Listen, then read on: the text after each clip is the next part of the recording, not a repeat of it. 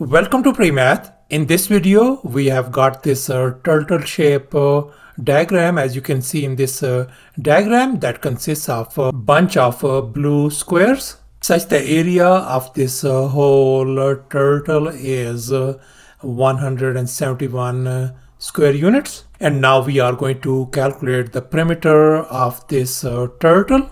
Please don't forget to give a thumbs up and subscribe. Let's go ahead and get started with the solution and here's the very first thing uh, we are going over. Let me remind once again that we are dealing with these uh, tiny bunch of uh, blue squares. In other words, the side length uh, of this uh, square is going to be same. And here's our next step. Let's go ahead and count the total number of uh, square tiles in this turtle shape. We know that these are our five squares. These are five as well. And this five, another one that's going to become 5 plus 5 plus 5 is 15.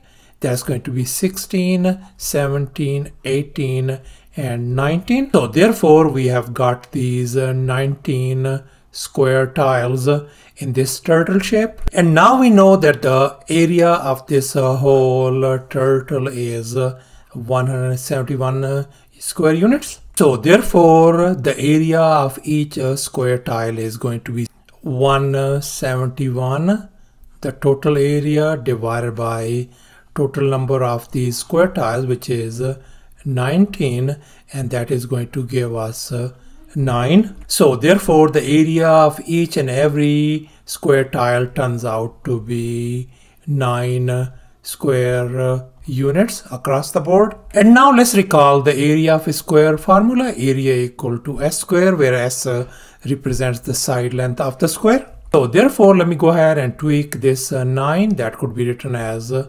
3 square. So that means I can write this 9 as uh, 3 square.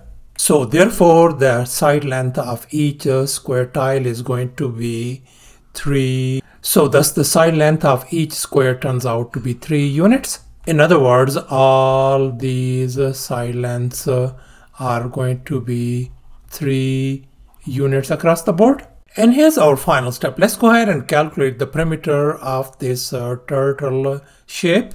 And now let's recall the perimeter. Perimeter is nothing more than just the boundary length. And now let's start counting uh, these uh, side lengths around this uh, turtle shape.